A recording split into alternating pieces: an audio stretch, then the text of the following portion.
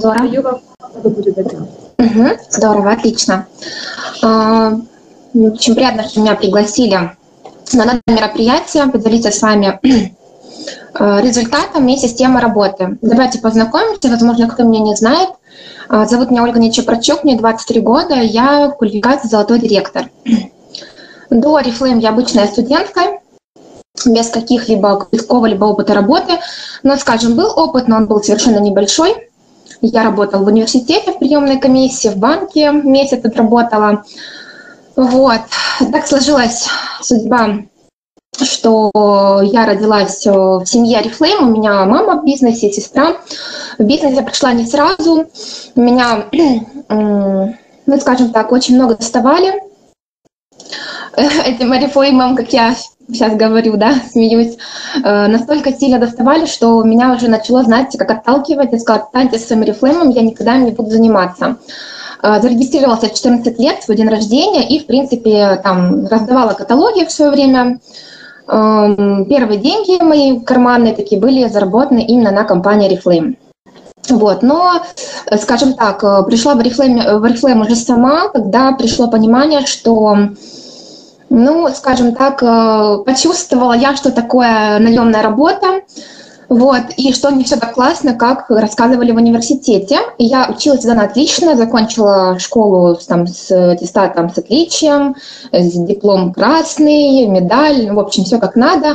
То есть я всегда хорошо училась и думала, что буду работать по своей специальности. Я банковский работник, э, закончила финансы и кредит. Вот, но, опять же, увидев, как работают наемные работе люди, я поняла, что так не хочется, я увидела оклады. Э, первый месяц я отработала, я работала очень много, эм, с, с полдевятого до, до пяти, но по, по факту я бывала там до шести, до семи задерживалась. И помню, мне за работу, я, мне заплатили 1300 гривен. Но тогда еще была, да, друг, другой, другая минимальная зарплата была. Вот, там я познакомилась с людьми, которые работали там уже не как я месяц, работали и 5 лет, и 10 лет. И я поняла, что от количества проработанного, проработанных годов как-то их особо зарплата и их возможности не увеличились. Ну, в принципе, так пришла я в компанию Reflame, да, уже осознанно, серьезно, ну, где-то примерно в 20 лет. Э, пришла в компанию зачем? Чтобы получить возможности дохода, возможности самореализации. Родители меня всегда воспитывали в строгом таком ключе. То есть есть родители, которые дают детям квартиру, машину, дают э, детям там оплачивают э, учебу в университете, да, вот как-то вот так вот детей ходят, лелеют, да, вот, чтобы они там пылинки с них сдувают. Меня родители немножко по-другому воспитывали, всегда говорили, что я должна быть самостоятельной, независимой. Поэтому, когда я закончила колледж, где я училась бесплатно, э, мне родители поставили ультиматум, что у тебя год на раскрутку. Не хочешь заниматься рефлеймом, э, это твой выбор, э, решила, значит, э, развивайся в своей специальности, но нечего идти, идти учиться на дневное отделение, уже 4 года протеризировать штаны за партой, э, иди на заочное и уже набирайся опыта, ищи работу. Вот, то есть мне родители сказали, что они оплатят только один год учебы, а, э, чтобы я как бы рассчитывала, что через год я буду себя обеспечивать сама. Ну, так, в принципе, такой немножко пинок, да, и, в принципе, пришла в компанию. А, не всегда рас рассказываю такие, такую историю, потому что, возможно, у кого-то есть тоже дети, там, студенты, да, вот как, как детей приобщить к самостоятельной жизни. Вот мы, родители, сделали это именно так Пришла я в компанию, сравнив да, мои возможности наемной работе и возможности традиционного бизнеса и сетевого. В принципе, а, традиционный бизнес вообще не рассматривала, потому что не было финансовых возможностей куда-то что-то вкладывать. Наемную работу я попробовала, как-то не особо мне понравилось, и всегда думала, что если я и буду работать на наемной работе, это временно, и нужно искать что-то другое. Ну и, в принципе, вот не буду сейчас зачитывать, тратить время, у нас ограниченное количество времени на выступление, можете слайд посмотреть, да, то есть какие возможности есть в компании Reflame и как можно себя здесь реализовать, и преимуществ в разы больше, нежели в любом другом месте. Каждая директорская группа – это новая квартира, образно, образно говоря, купленная вами. Э, это пассивный доход. Поэтому, конечно же, основная нацеленность в бизнесе должна быть на развитие лидеров и директоров своих организаций. Когда я начинала, у нас не было системы работы, ничего не было. Вот просто я, мы с сестрой вдвоем, вот, вот две студентки, никакого опыта. И, конечно, первые, наверное, года полтора были неправильные. Э, мы работали э, в большой профессиональной группой. У меня, я когда открывала звание директора, у меня не было ни одного менеджера. Э, ну, опять же, по неопытности не было такого наставника, который нас курировал и показывал, делай так, делай так, делай так. То есть, в принципе, сами формировали систему работы, сами да, думали, как, что делать и так далее. вот. Но уже со временем пришло понимание, что основное суть в этом бизнесе – это выращивание лидеров, выращивание директоров, и э, нет смысла э, работать в огромной персональной группе, лучше взять несколько лидеров, вырастить, да, и потом взять следующего лидера, довести до ума, э, и уже в дальнейшем этот бизнес сделать своим пассивным источником заработка. На своем личном опыте я поняла, что в компании Reflame можно зарабатывать деньги. Э, я, возможно, это еще не доход там бриллиантового директора или старшего бриллиантового, вот, но все же для моего возраста, я не знаю, где бы я еще в своем возрасте могла бы зарабатывать те доходы и те премии, которые компания Reflame мне перечисляет на расчетный счет. Поэтому это очень здорово, нужно показывать. Раньше я боялась показывать своим сверстникам там доходы или еще что-то. Наоборот, люди многие не верят, нужно показывать им, что это возможно, что компания Reflame действительно платит, что не было ни одного дня, когда мне не выплатили зарплату или там задержали зарплату. Все тютелька в тютельку, да. Нужно людям показывать, чтобы у них открывались глаза, что ли, на этот бизнес, и они хотели работать вместе с вами. С компанией Reflame уже выплачиваю свою квартиру, делаем ремонт. Ну, действительно, на 90% это э, заслуга того, что компания, я работаю в компании Reflame, и компания выплачивает доходы.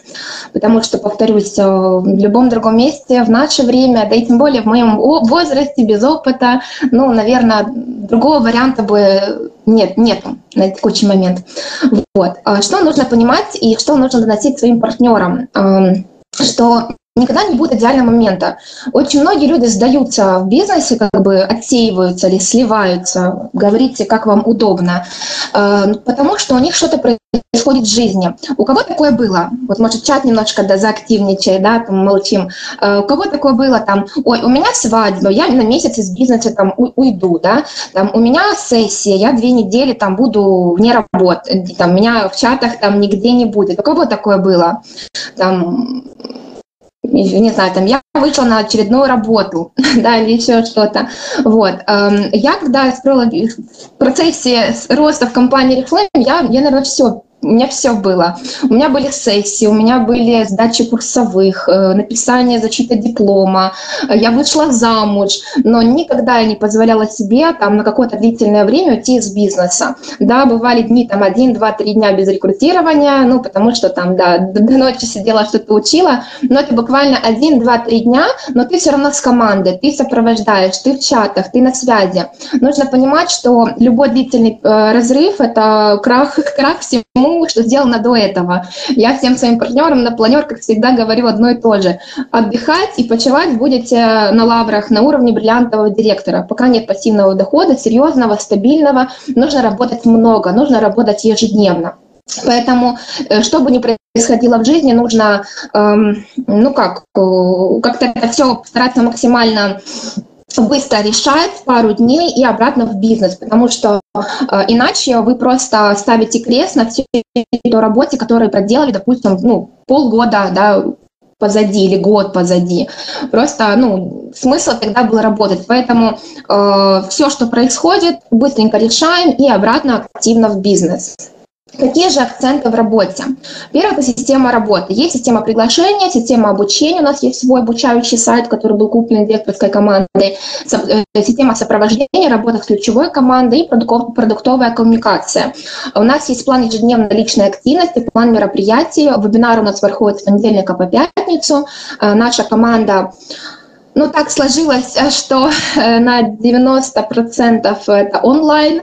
Вот, конечно, есть уже у меня несколько людей так из теплого контакта, вот с кем я хорошо общаюсь в своем городе, но большинство как-то вот отдаленно. Поэтому большинство мероприятий все-таки в онлайн. Мы за, за день до начала каталога прописываем активность. У нас 15 вебинаров за каталог, и мы прям прописываем, кто за, какие, за какой вебинар отвечает. Есть продуктовые э, вебинары, как люди делятся лично, как они делать личный товарооборот. Есть э, вебинары для партнеров, где мы рассказываем, как рекрутировать методы, там, опыт, сопровождение, работа с неактивными, да, то есть такие вот более закрытые вебинары, они не для всех, они именно уже для партнеров, новички на них не присутствуют. Также мы приглашаем, ну, стараемся максимально, как это возможно, какие-то спикеров приглашать. В прошлом каталоге у нас Елена Рогач выступала а, по звонила, договаривалась, попросила, чтобы она у нас выступила по, по теме wellness, они по wellness работают. Тамара Скиба выступала по серии Innovation, мне кажется, просто идеально рассказывает об этой категории тоже. То есть, чтобы наши новички, наши партнеры и как бы и других людей видели помимо, помимо нас. Вот. А любой месяц тестирую минимум один месяц ежедневных действий. Что значит? Это значит то, что вот есть такая вот фишка, да, это вот не хочу этим работать, там что-то услышала в Ютубе, вот эти так работают, и буду вот так работать. Э, все старое бросается, идет там новый метод. Э, ну и, как правило, все новое не сразу дает результат. Поэтому, когда мы тестируем что-то новое, во-первых, нужно тестировать параллельно, то есть нужно все равно продолжать работать то, чем тебя сейчас, допустим, это тебе дает регистрация, это дает тебе там сейчас да, результат. Но параллельно минимум месяц тестировать какой-то еще метод. И если за месяц он тебе дает первый результат, и ты видишь от него эффект, ты можешь потихоньку, допустим, переходить на этот метод работы. Потому что у меня были такие люди в команде, которые просто там, это так не буду, буду так. В итоге ничего не получилось, человек ушел. Этого делать не нужно. Э, также самообучение, канал YouTube, литература э, слушаем растущих лидеров. Э, я очень много слушаю информацию на YouTube. Вот.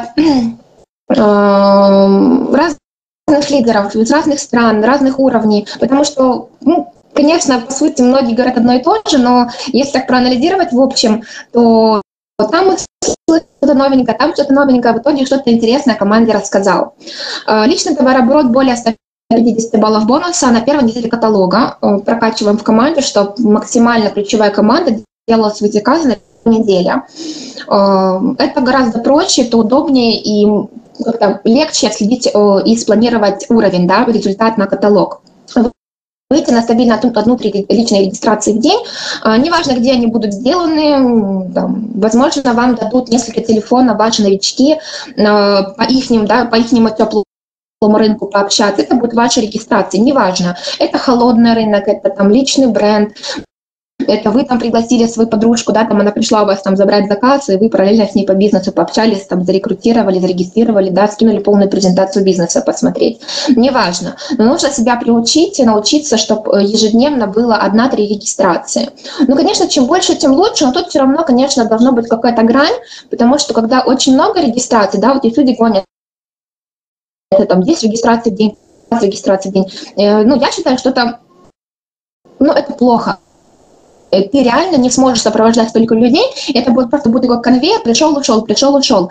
Э, поэтому, конечно, нужно понимать, что этих людей нужно не просто зарекрутировать, их нужно сопровождать.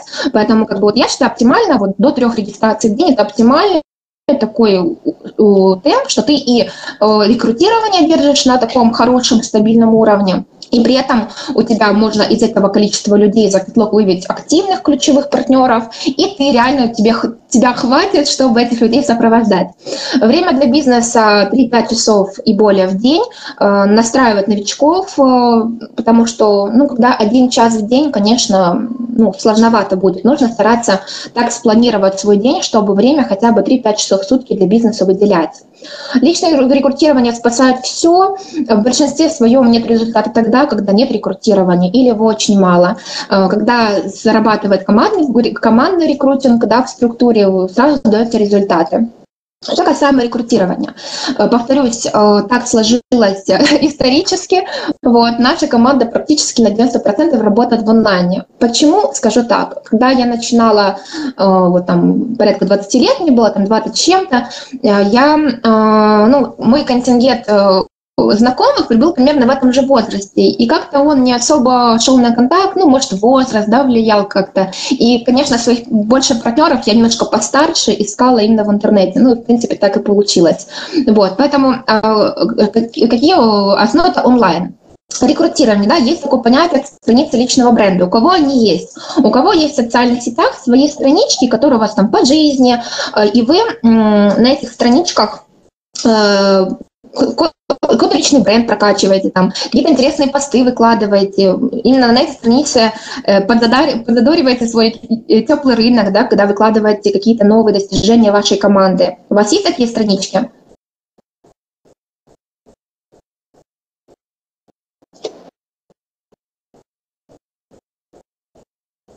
Или нету?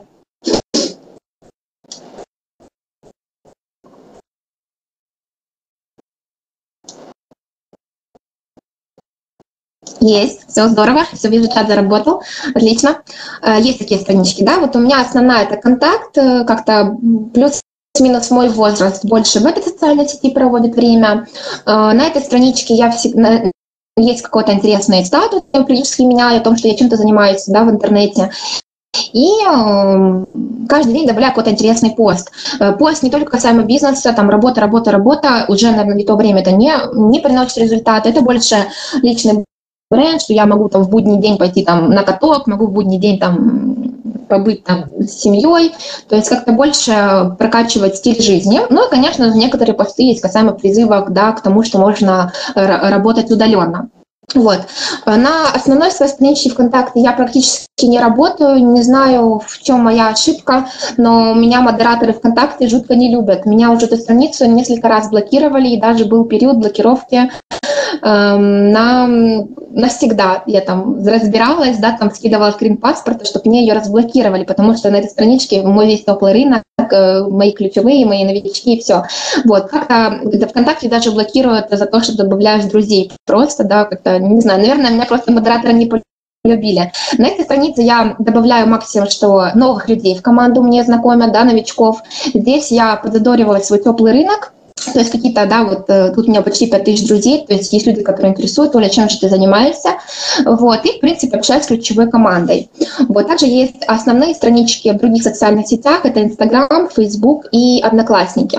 Код контакта у меня и основной мой, э, моя страница моя основная социальная сеть, в которой я сижу, но все же я понимаю, что жизнь идет, э, все меняется, да, и, возможно, если сейчас э, контакт для меня более популярный, наступит время, когда он уже станет не такой популярный, да, и будет новая социальная сеть, тот же Инстаграм, тот же Фейсбук, поэтому эти страницы я раскручиваю, я тоже на них раз в день выкладываю один пост, в принципе, я один пост одинаково дублирую на все аккаунты во всех социальных сетях, вот, и потихонечку добавляю туда друзей. Еще или бывших там одногруппников, или э, бывших одноклассников, там, бывших друзей, с кем там поддерживала какие-то отношения, или еще по друзьям друзей, чтобы потихонечку эти странички как-то оживить, да, чтобы на них как-то активность, да, уже проявлялась. Вот.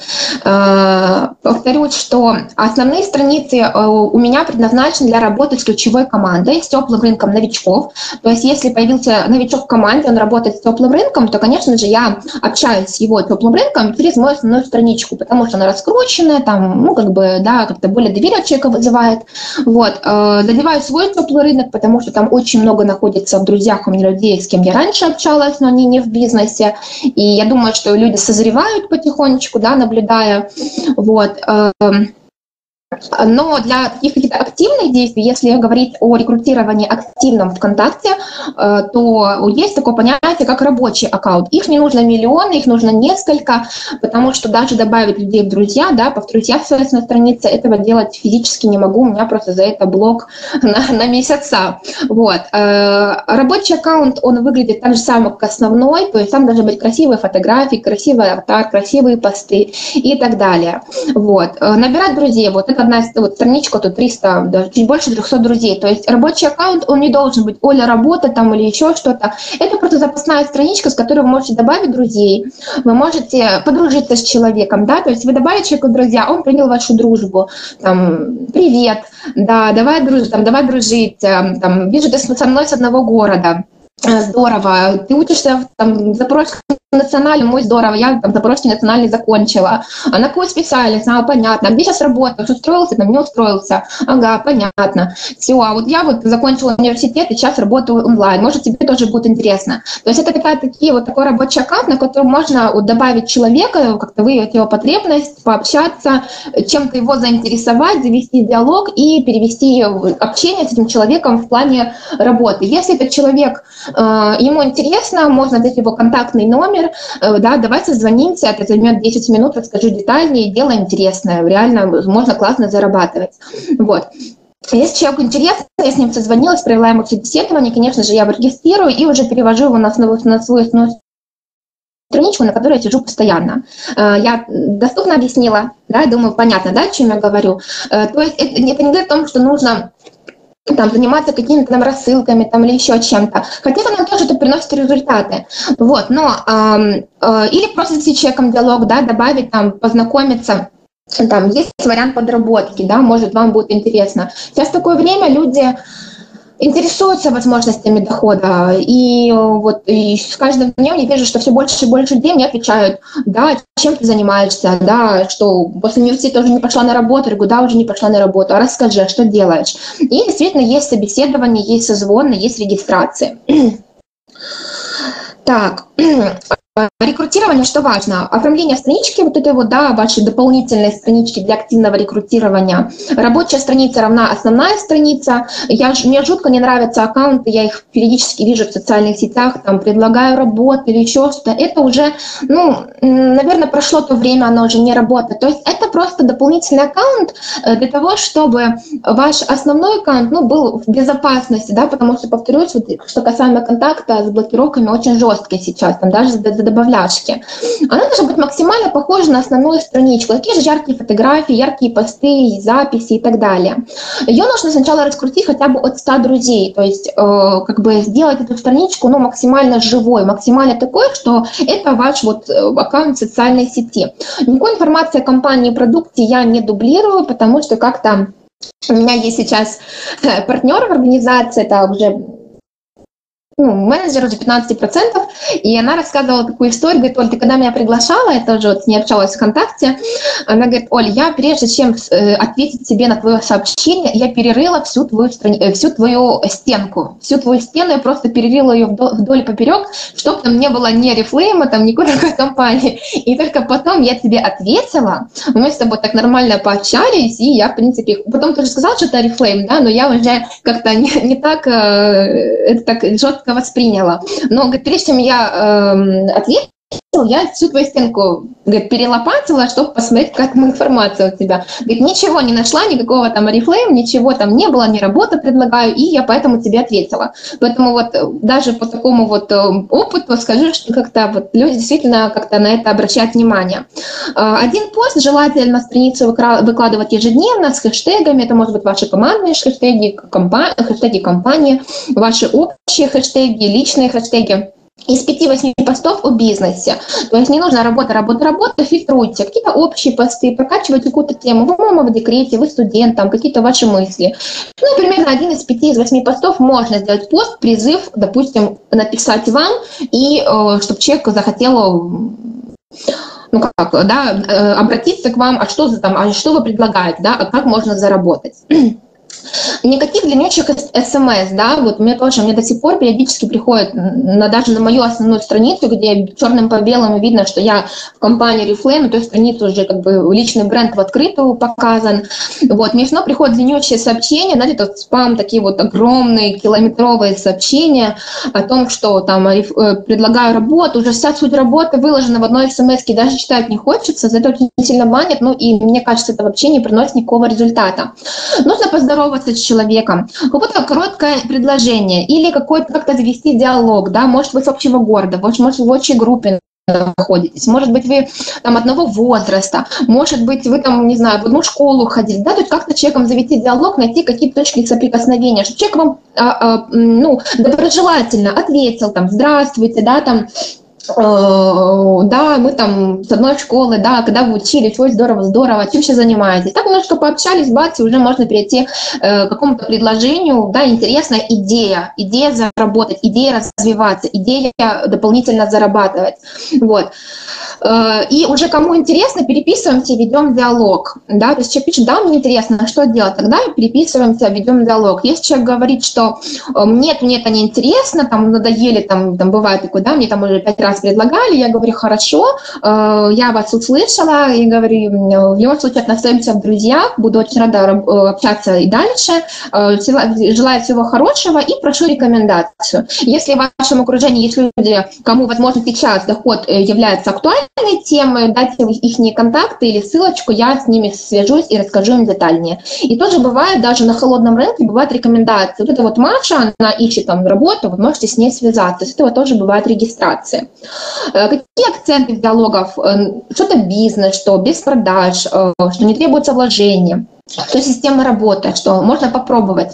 Между прочим, слово «попробовать» в онлайне очень актуально, потому что многие люди боятся, особенно паспортные данные, там, да, тоже бывает, у человека как бы в ступор его вгоняют. И слово «попробовать» я очень часто использую. Оно вот в онлайне, ну, очень-очень-очень актуально. Что я имею в виду? То, что когда я провожу собеседование, я не говорю, давай регистрируйся, давай там делай, давай будем там большие деньги зарабатывать. Люди этого пугаются, особенно если это холодный рынок.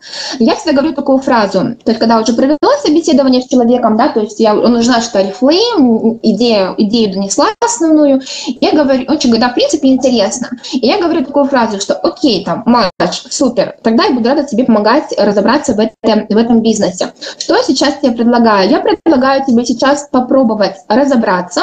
Я тебя зарегистрирую, подключу к обучению, ты познакомишься с командой, добавлю тебя в чаты, ты разберешь систему изнутри, узнаешь более подробно маркетинг-плане, там, да, возможностях дохода. И уже в процессе обучения ты сможешь принять окончательное решение. Если будет интересно именно по бизнес-возможностям развиваться, я буду рада с тобой работать, я буду помогать. Если нет, то останешься клиентом, у тебя будет скидка, будешь наблюдать за ростом организации. И так люди на слово попробовать, они более лояльны, да, конечно, такой вариант не устраивает, давайте пробовать. Тоже это как бы работает, тоже рекомендую. Теплый рынок. Как работаем с теплым рынком? Составляем список знакомых хоть 100 человек, э, прорабатывает или же спонсор, э, или же сам партнер и берет контакт для собеседования. Если прорабатываю я теплый рынок э, партнера, да, новичка, начинающего партнера, то можно как прорабатывать список. Он вам скидывать список знакомых, есть контакты, есть телефоны, и вы человеку пишете в социальной сети. Мария, здравствуйте. Э, мне ваш контакт порекомендовала там Наташа Иванова, ваша знакомая. Она мне подсказала, что вы э, ответственный, серьезный человек, ну вот, и к вам можно обратиться с предложением, у меня есть вакансия, там, да, такая там вакансия там в интернет-магазин или там в, э, мне в мой бизнес нужен помощник или новый там менеджер, вас, и вам может быть интересен дополнительный доход. Э, я могу к вам обратиться по этому вопросу. И человек, когда вы обращаетесь от имени там ее знакомой, как правило, человек отвечает, э, да, здравствуйте, там, или пишет, мне это неинтересно, да, опять же, я прошу рекомендации, или человек пишет мне, да, а что делать, мне что-то доход интересен. Все, диалог как бы э, завелся, может человек уточнить, э, подсказать, скажите, а сколько вам лет, чем вы занимаетесь, сколько у вас есть свободного времени? То есть немножечко с человеком такой диалог повести, да, не сразу там работа, работа. Он там ему ответил, там я мама в декрете, есть свободное время, я говорю, все здорово, отлично, там, часа три день для вас пассивная занятость, да, да, смогу уделять здорово, отлично. Э, на, ну, по первым признакам там э, вы, вы мне подходите, я бы хотела вам детально рассказать о работе. Давайте созвонимся. Опять же, берете контакт у человека, созваниваетесь, проводите собеседование. Да, да, нет, нет, да, то есть варианта два. Так, э, задача спросить, как дела. А, если человек прорабатывает список сам, то есть не я прорабатываю список, а список прорабатывает сам начинающий партнер, тогда значит спросить, как дела, там, э, он этого человека знает, да, там, это подружка, там, бывшая сотрудница или еще, или как-то там, да, вы с ней, они с ней знакомы. Здесь контактный номер, остальное дело вышестоящего активного спонсора, да, то есть он берет контакт, говорит мне, вот я внизу скинула, вот, да, Лена партнер, мне просто скидывает номера телефона, вот Таня набери, вот Марина, телефон мобильный набери. Я просто звоню человеку, Татьяна, здравствуйте, меня зовут Ольга Нечебрачук, мне вас посоветовала Лена там Иванова, э, ваша знакомая, э, она мне подсказала, что вам актуальный вопрос дохода. Я правильно попала? Да, да, правильно. Вам сейчас удобно будет говорить, займет 10 минут, расскажу детальнее о том, чем занимаемся. Да, удобно. Все, проводим собеседование. Если человек говорит, что да, мне это интересно, собеседование максимум 10 минут занимает, то есть я стараюсь долго люди, ну, не готовы слушать, максимально вести диалог, то есть вопрос, ответ, там, рассказала, спросила у человека, рассказала, то есть диалог, чтобы с человеком шел. Вот. И буквально 10 минут, чтобы это не было сильно затянуто, сильно скучно. Вот, так. Ключевой партнер кто это? Ну, я думаю, что я этот слайд пропущу, потому что уже сто раз рассказывали, да, ключевой партнер личный товарооборот делает и ежедневно обучается, он позитивен, он адекватен, нацелен на результат, он ищет возможности, не причины, э, вот, уделяет время, ежедневно рекрутирует, то есть э, партнер проверяется не пустыми разговорами, а проверяется действиями. Какие основные, основные этапы сопровождения у нас в команде? Я буквально вот в 14 пунктах это все прописала. Первая регистрация, то есть пропустим этап регистрации, я уже не сказала, вы довели человека до регистрации. Он зарегистрировался, вам нужно дать ему, или вы полную презентацию бизнеса проводили, когда этого уже не нужно делать. Если человек познакомился там в собеседовании 5-10 минут, понятно, что у него информации практически нету, он просто на энтузиазме, на какой-то идее зарегистрировался, ему нужно дать полную презентацию бизнеса, какую-то или вашу личную, или какого-то вышестоящего лидера, или любого лидера в компании, которая вам нравится, дать ему ознакомиться знакомиться с полной информацией о бизнесе. Он смотрит, на следующий день вы созваниваетесь или через день с ними договариваетесь время. Вам нужно созвониться, поближе познакомиться, выявить его готовность развивать этот бизнес, то есть готов ли он обучаться, готов ли он уделять время, интересно ему это направление. То есть, по сути, когда запуск новичка в бизнес, мы э, выявляем, это или будет клиент, да, то есть э, акцент клиента или партнер. Дальше делаем первый активационный заказ обязательно, как и Алексей Серук сказал, что это очень важно. У нас тоже это в команде заведено. Э, пусть это будет заказик небольшой, это будет 1, 2, 3, 4 продукта, но человек получит свой заказ, получит каталоги, да, и сможет дальше хотя по личному товарообороту работать, да, и познакомиться с продукцией. А, он оплачивает заказ, и мы добавляем его в чаты. Почему мы сделали? Сейчас у нас очень много есть неответственных людей, есть откаты в структуре, может, что вы, вы тоже с этим сталкивались, поэтому мы сейчас в команде завели очень важное правило. На сайте компании пишется, что оплата в течение трех дней, да, поэтому я человеку даю задание оплатить заказ, и только после этого добавляю его во всех чаты, да, и подключаю к обучению. Дальше он подключается в раздел «Новичок», это такой базовый раздел, да, там основные моменты, там маркетинговый план, там стартовая программа, вот основное. Вот, э, на, на это у него, на ознакомление у него два дня. Позже у него будет вводный с директором через два дня. То есть если это его пригласил такой начинающий партнер, желательно, чтобы раздел новичок с ним обсудил ну, более опытный человек. Это или я, или, может, уже у меня в команде, там директор есть, э, есть менеджеры, старшие менеджеры кто пройдет эту встречу. А после чего он пишет список знакомых от 100 человек, и мы с ним прорабатываем этот список знакомых. Человек прорабатывает список знакомых, или сам, или спонсор прорабатывает, то есть они обсуждают этот момент. Мы даем ему на организацию личного товарооборота 7-10 дней, вот, и прочитать книгу «Бизнес-трафарет». Раньше давали 10 уроков на салфетках, но как-то она длинновата, люди не все ее смотрят.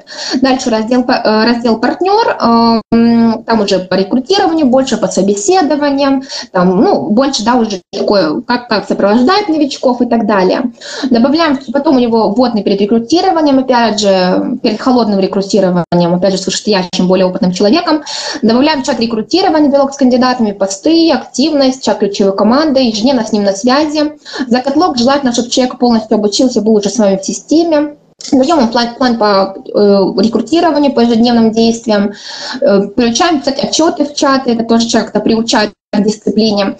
Учим сопровождению, когда партнер провел как минимум 10 регистраций. То есть первая регистрация берет на сопровождение вышестоящий активный лидер. Э, не тратя время на пустых людей, если человек не выполняет то, что вы хотите, э, то, что вы ему рекомендуете, то, что вы от него просите выполнять, то есть э, вы ему рассказываете систему работы, которая, которая работает. Да? Нужно делать не одну регистрацию в неделю, нужно делать там 5-7 регистраций в неделю, да, он этого не делает, вы один раз поговорили, второй раз поговорили, не делает, все оставляем на произвольную, на произвол судьбы, пусть работает как хочет, вы не тратите время, фокус на ключевых.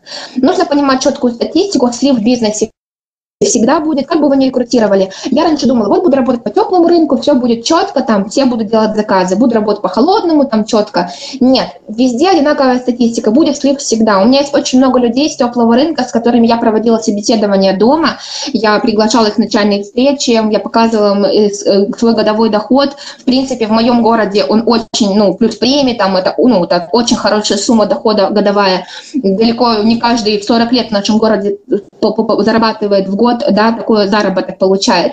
Но люди даже не регистрировались и там на вторую встречу там не отвечали мне, да, это, статистика слив всегда будет, к этому нужно нормально относиться. Поэтому нам и нужно ежедневно рекрутировать для того, чтобы из какого-то процента людей ну, находить э, своих ключевых, да. Тут немножечко понимания статистики, не буду прочитывать, в принципе, думаю, на слайде все видно. Вот, быть готовым преодолевать трудности, они будут всегда. У меня были трудности с регистрациями, были трудности с активационными заказами, когда люди регистрировались, но заказа вообще не было. Я не понимала, что они так делают. Как-то люди вроде регистрации есть, а толку мало. Потом пошли заказы, вообще не было кьюшек, не было ЛТОшников. Просто люди делают заказы там по 10-15 баллов, я не знаю, что с ними делать. И это мы прошли. Потом дошли уже до э, варианта обучать людей личному товарообороту, чтобы как они стремились сделать 150 баллов, показывать выгоду да, личного товарооборота. И как-то и ЛТОшники начали появляться, которые заказы более высокие делают. У меня было, была, был опыт, когда менеджер 18% ушел в другую сетевую компанию, наглым образом переманил структуру, я скажем так, поднимала структуру, чтобы открыть новое звание. То есть все было. Но, есть, но это, как называют наши лидеры, это проверка на успех, да, то есть вас природа проверяет, готовы ли вы этот успех принимать или не готовы, пройдете ли вы эти трудности или не пройдете. Нужно к этим трудностям относиться спокойно, просто оценить ситуацию, вот, и идти, вот, несмотря ни на что, у вас есть цель, и вы, вы к ней идете просто на пролом. Вас не, не беспокоит что не получается, вы делаете, делаете, делаете, обязательно прорвет. Вот, все, большое спасибо. Это у меня последний слайд. Спасибо большое за Дякую вам, дякую вам, Олечка, за ваш досвід. Дякую вам за ваш приклад. Дякую вам за такі детальні рекомендації в широкому розумінні ведення сьогоднішнього бізнесу. Дякую вам і вам подальших успіхів. І зараз ми переходимо далі. І переходимо ми з вами до наступного блоку блок наші спільноти. І ми розуміємо, що наші спільноти це є та частина, де ми можемо належати до якоїсь частини товариства, яке нам цікаве, і відповідно ми формуємо своє товариство. Я також, наприклад, вчорашнього дня є частиною проекту від нашої компанії Wellness In, де ми всі працюємо над тим, щоб міняти своє тіло, міняти свій стиль харчування.